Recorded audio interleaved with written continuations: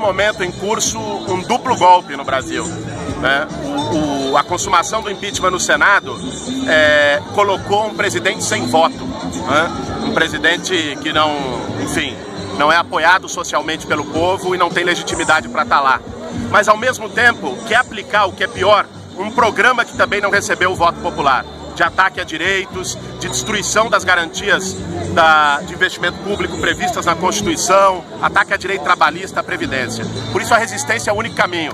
Né? Quem acha que o jogo se encerrou com a votação no Senado está muito enganado. Está né? Tá começando agora. Né? O Senado decidiu lá no carpete, um Senado, aliás, sem legitimidade para definir os rumos do país, composto em uma medida importante por corruptos investigados. Né? O destino do país vai ser decidido nas ruas com o povo mobilizado.